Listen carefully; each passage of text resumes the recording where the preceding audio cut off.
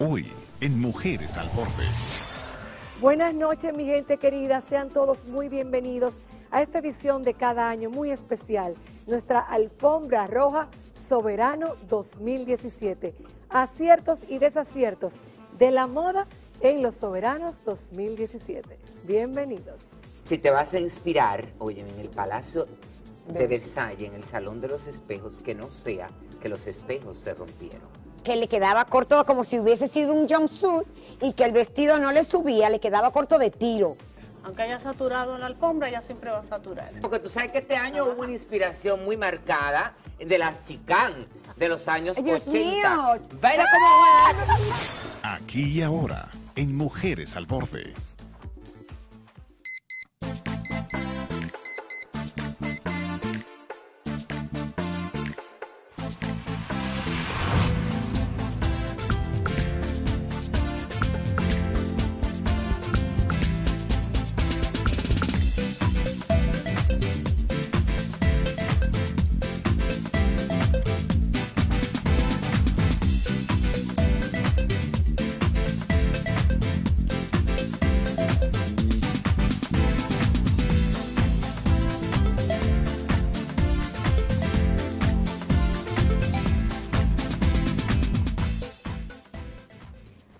Con mis panelistas. Señores, ellos son mi familia. Ellos coproducen esta edición especial de moda que hacemos cada año y algunas veces más.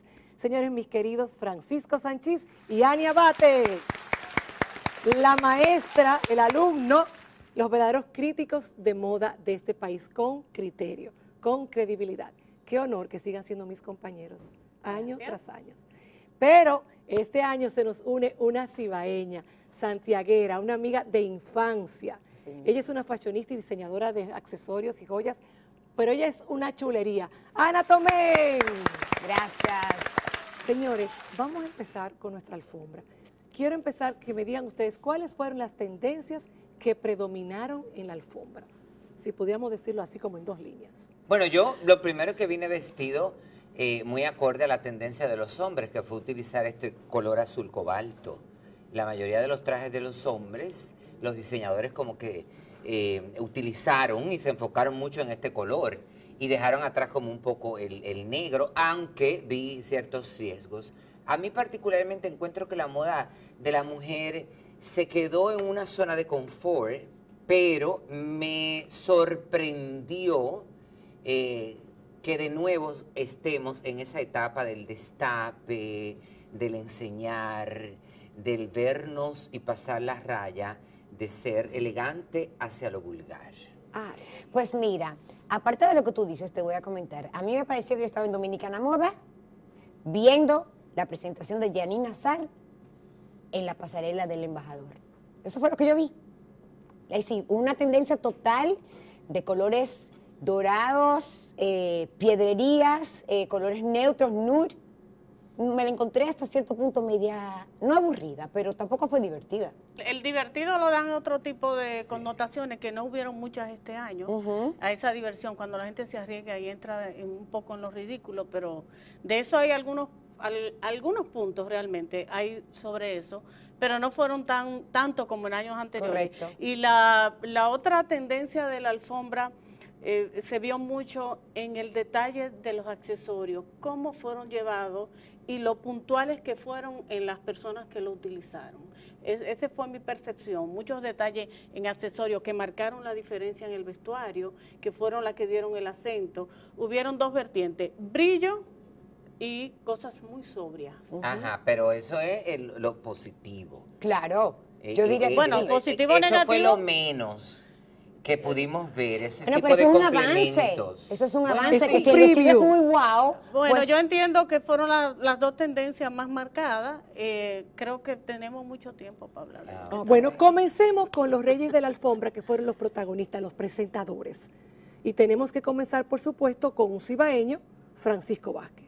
Vamos, A mí me gustó, palabra. Francisco, me gustaron todos sus cambios. Fue de Carlos Núñez y de, y de José sí. Lo que pasa es que ellos respeta- eh, respetaron mucho el, el estilo de Francisco. Lo cual el es ser el conductor, el em, que él se sintiera cómodo con lo que tenía eh, puesto. Y también respetando mucho la majestuosidad del premio, tampoco eh, que se viera como parte de la escenografía, sino que marcara la diferencia. Eh, telas muy ricas y, y yo me gustaron todas sus aciertos. eh, me- me encuentro que todos sus looks fueron unos aciertos, aun cuando utilizó el azul, muy común entre los hombres este año, pero pienso que le quedó Pero bien. bueno, eso es parte dentro de sus cinco cambios. Era Sí, claro. lógico que co- cogiera el, el azul. Bueno, la- además era una tendencia, porque si Exacto. vamos a eso, Él llegó con el uno brillo de, en la de alfombra de. Carlos Núñez, que Correcto. creo que lo más importante ahí fue el buen entalle que tuvo. Sí. Ahí lo y ese estampado que utilizó Carlos eh, en, ese primera, en esa primera Salida. sensación que pudimos tener, porque cuando tú acaricias algo agradable, probablemente así sigue la ruta. Pamela en el caso de Pamela, eh, creo que su estilista hizo un excelente trabajo, Sí. que fue Dawilda. Eh, el- y lo que más me gustaron eh, eh, y que marcaron como una diferencia, ese traje rojo de Leonel Lirio, el jugar con lo monocromático, para mí fue eh, muy puntual y muy... del- en la mezcla del- de que haya sido un, un- Pantalón un la pantalón. Eso yo me refiero, una fiesta divertida, igual que la que usó de, creo que fue de Yusef, que es la tan criticada pieza esta del abanico. Ah, me, me encantó. Eso es una masterpiece, Es eso una es, una, es una, una belleza. Realmente muy bella. A mí- bella. Y no solamente el conjunto entero, Sí. pelo, estilismo, maquillaje de Pamela. Por eso te digo, perfecto. resalto el papel de su Sí, sí, sí. estilista ahí. Porque Dawilda pudo jugar Dawilda todas se las ganó un. No, y los maquillajes también Sí, se sí, los sí. cambiaron. Sus cinco cambios fueron aprobadísimos. sí, muy- entonces. Sí, muy bien. Acertados. sí, sí. Ese último El de Oriet. El de Oriet, ese último fue Sí. exquisito y, y televisaba muy Y bien. fíjate cómo cambió el peinado Sí, con sí, sí. cada vestido. O sea, fue muy puntual, muy acertado eh, y sobre todo ella fue muy orgánica dentro de todos sus looks. Seguimos con los presentadores de la alfombra. Francisca La Chapelle. Pero sí que parecía una princesita de, de cuentos de hadas, personalmente. El pelo, ahí no hubo armonía en nada. Ni siquiera en un color de temporada. Personalmente yo entiendo que tenía el pelo como desarreglado totalmente. Ella sí hizo muy buen trabajo, porque ella de verdad realmente se desempeña muy bien. Pero el, el vestido personalmente no me, no me causó ningún efecto. A mí me, el vestido no me disgustaba, eh, eh, lo único que no me gustaba era quizás el abierto muy pronunciado en la pierna, que en algún momento no lo supo manejar, se le vio su ropa interior. Pero la parte de arriba sí, me pareció como una inspiración griega, ella siempre la miraron tres cuartos, es decir, que el punto focal estuvo bien, eh, pero su arreglo del cabello, porque el maquillaje estuvo muy bien, pero en el cabello había demasiada información. Entonces, eso eh, en algún momento opacó su buen trabajo en la conducción de la alfombra. Pero óyeme, Francisco, tú, lo- tú estabas ahí y sabías todas esas cositas. Pero nosotros que estamos en casa, que la veíamos entera, ese vestido no me, me No te pareció un cuento de nada. hada, ¿no? Un cuento de hada. Creo que el detalle más importante en ese vestido fue el cruce de sus tirantes. Ahora, el color era muy pálido eh, y el tener de fondo en cámara el azul todo el tiempo, ella competía. Carolyn Obviamente, Aquino. eh, Carolyn Aquino, como tengo la palabra, voy a seguir con ella, por de. Yanina Azar. Se llevó la delantera porque fue la primera que salió. Es como cuando se abre la pasarela. Ese vestido primero y ese vestido final eh, marcan mucho. Eh, Me pareció muy bueno el detalle de subir el cuello cuando ella tiene un escote tan pronunciado. Eh, su, trabajo de Yanina indudablemente está impecable, muy buen trabajo. Sin embargo, en cámara, yo te voy a decir mi sensación, ella estaba forrada de papel de aluminio. Y además, otra cosa. Wow. Porque se vio así. Ahora, Televisó así. televisó así. Entonces yo decía, son cosas mías, inclusive yo llamé a otra persona y le digo, ¿cómo se ve el vestido? Im- Dime algo que con lo que una imagen con lo que tú le puedes representar. Yo veo como mucho hielito, me dijo. Por gente. ejemplo, yo entiendo que en una alfombra bella. roja nosotros esperamos ver algo diferente de cómo uno ve a las personas normalmente.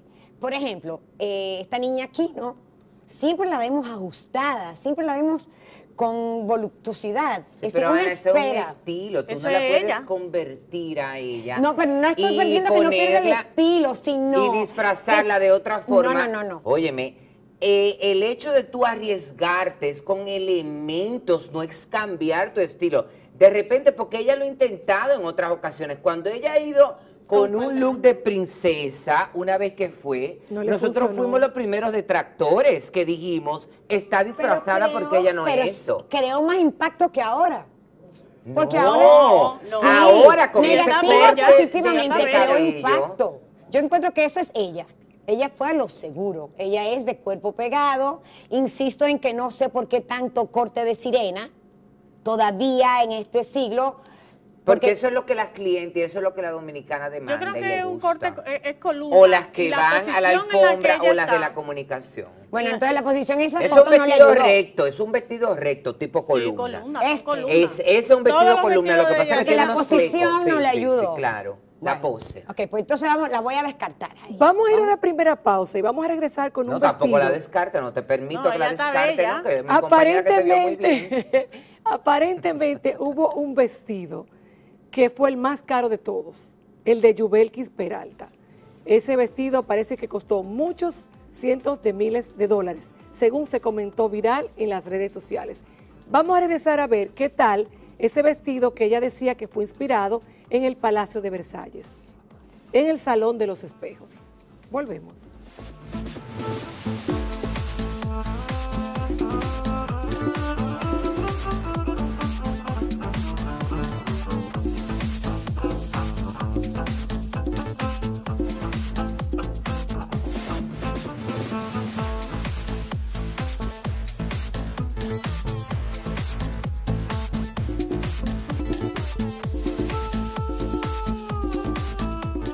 Si te vas a inspirar, oye, en el Palacio de Versalles, en el Salón de los Espejos, que no sea que los espejos se rompieran.